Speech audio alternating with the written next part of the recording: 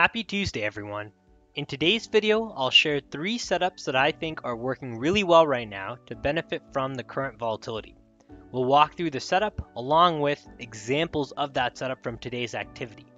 Now before we look at the setups, I think it's important to first establish that there is in fact increased volatility. So the way we can do that is by using our 15-day live scanner analytics. This is data that tells us that, hey, is volatility increasing or is volatility decreasing from the marketplace? So here's a snippet from our volatility box platform. Here's what it looks like live, just so you can see it inside of the platform. But let's take a look at the screenshot to analyze this.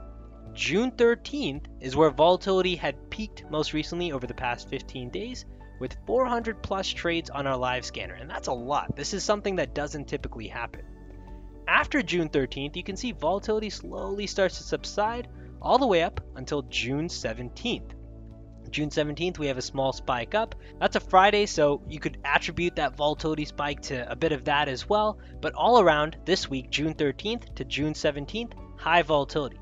Now, after that, June 20th all the way through June 24th, you can see how volatility is much lower.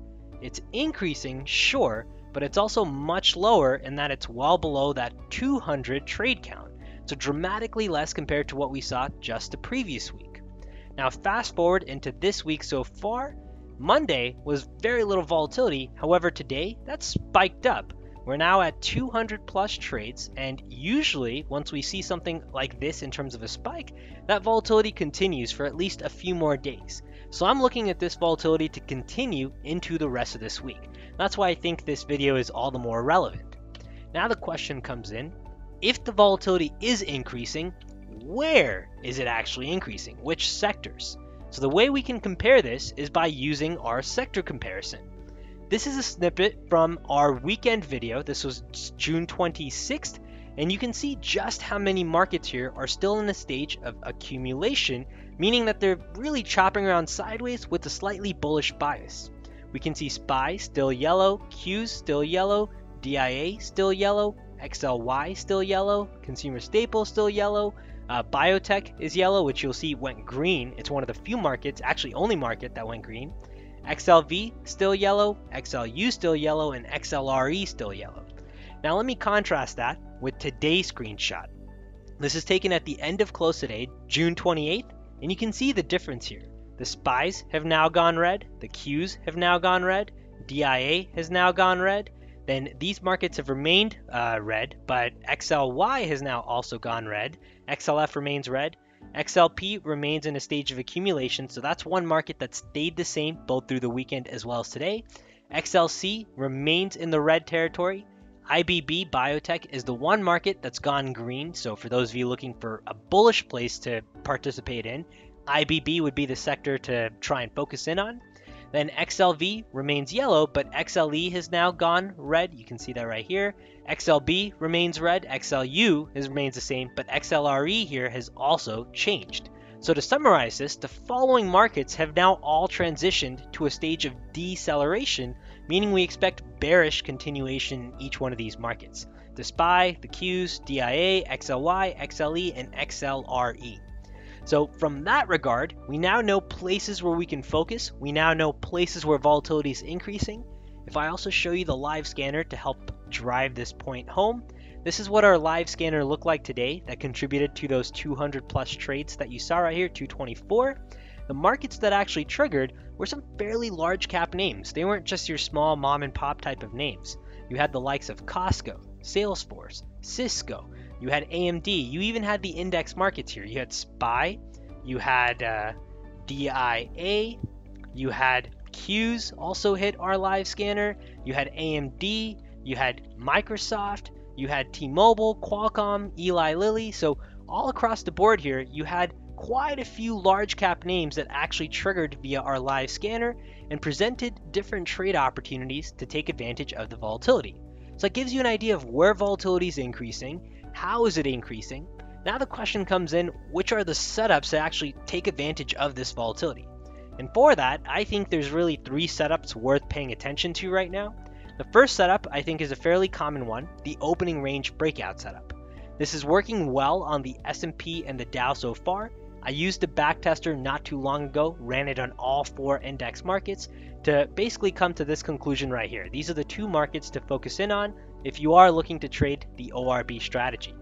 If I come into a chart first, so I can go through this side by side, on a one minute chart inside of the S&P 500, that first ORB setup came with this candle right here, where price action broke below our opening range.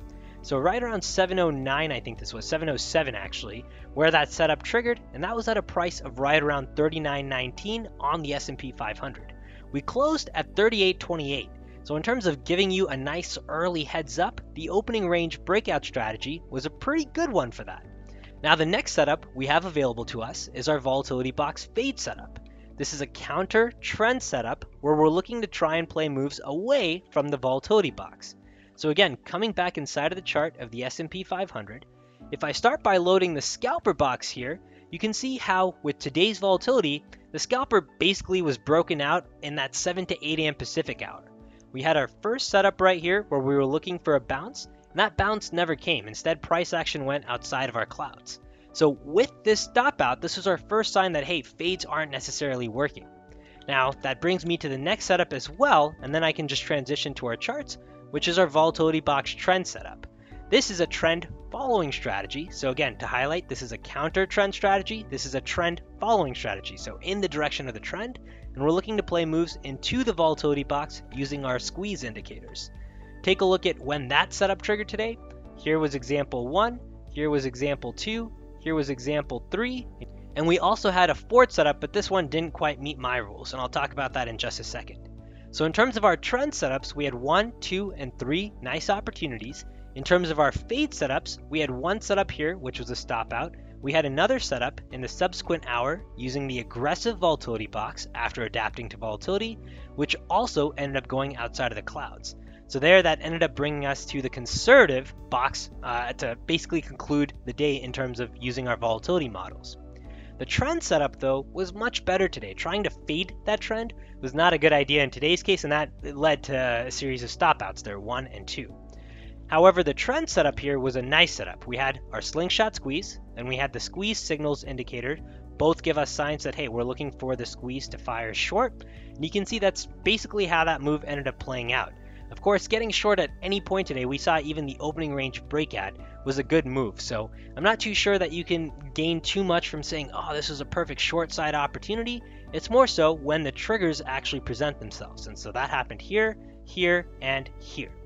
So those are the different setups that I think you might find helpful when trying to take advantage of the current volatility. I'll leave links that break down each one of these setups in a little bit more detail, going through specifics like rules, things to be on the lookout for, and just any caveats that you might want to pay attention to. This video is more so around uh, which setups to pay attention to, and more so, which markets to also pay attention to. Now finally to conclude, one other point that I think some of you might find useful, and this is more for swing traders, if you come into the daily time frame chart on the ES futures, we're now starting to see a bit of resistance right up here with this double wick. The current candle with today's close looks really nice from a bearish side setup, so any pullbacks near that 38.80 mark, really near the market pulse line, 38.96 is where the market pulse at, those would be some nice opportunities to try and get some short side setups. The reason why I think we may actually get that opportunity is we're still very much respecting this bear flag. So if in this bear flag, we get a small little bounce here, maybe an inside candle where we're tagging the market pulse, I think that would make for a nice anticipation trade looking to play a break of this uh, trend line right here. Again, targeting that downward 1272 at 3730 inside of the ES futures. And this is how that same setup looks like inside of the SPY ETF. So still that same bear flag, looking for a pullback near that 387 mark, which would be the low of this candle, and trying to build a short position there, maybe something similar to the butterfly that we crafted last time to play uh, this break right down here, which was again another trendline break, looking to play that move. Alright, I hope you found this video to be helpful for those of you looking to trade and profit from this volatility, and hopefully you have a few more setups along with a few different places that you can focus on applying those setups. Take care everyone, good luck trading, and I'll see you in the next update.